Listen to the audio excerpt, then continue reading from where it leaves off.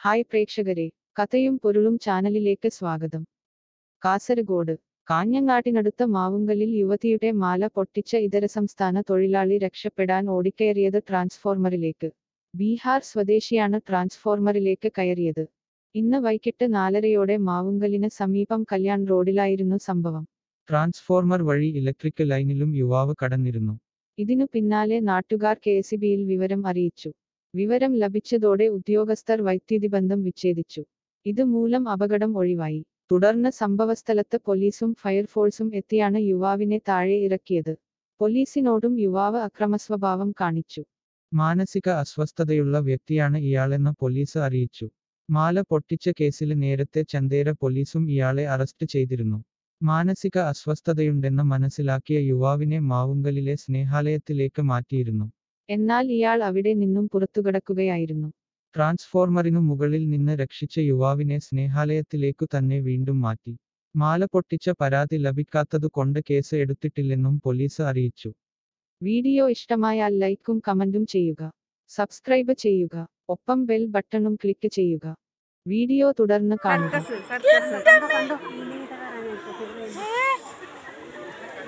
ഇപ്പൊ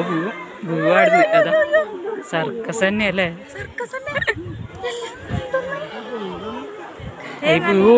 നല്ല ബാലൻസ് ഉണ്ട് കേട്ടാ ആ അതല്ലേ പണിയെടുത്തിട്ട്.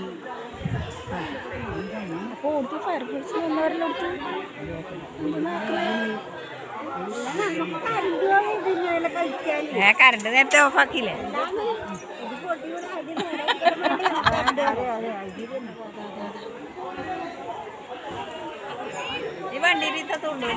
അങ്ങനെ ഞാനും വിചാരിച്ചത്. അങ്ങനെ തുള്ളിയിട്ട് വന്ന് പായാൻ വേണ്ടിയിട്ട് തന്നെ തല്ലു കൊടുക്കണ്ടപ്പ. അല്ലേ? തല്ലു കൊടുക്കണ്ടപ്പ? തല്ലു കൊടുക്കണ്ടപ്പ അല്ലേ? തല്ലു കൊടുക്കുമ്പോ എനിക്കൊന്തോ ഭാഗം അങ്ങനെ ഒരു ജീവനില്ലല്ലേ അപ്പ തല്ലുണ്ടപ്പ. കുടിച്ചു കൊണ്ടുപോയാ മതി. വടിയിലെടുത്ത്. അതെ. വടിയിലെടുത്ത് വച്ചാൽ അയ്യോ. എന്നാലും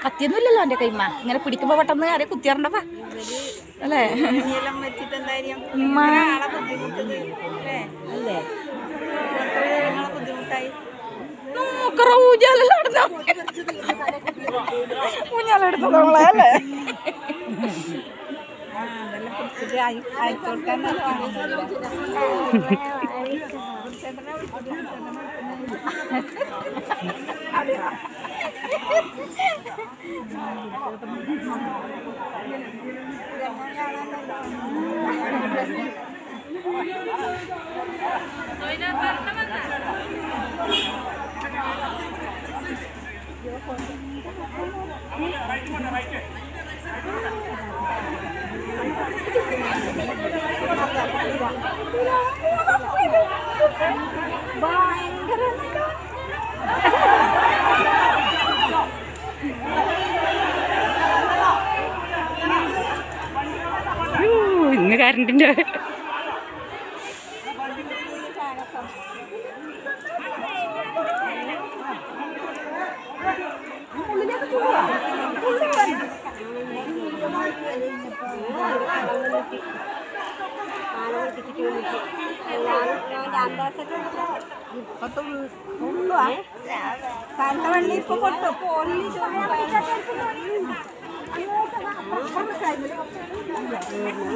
കണ്ട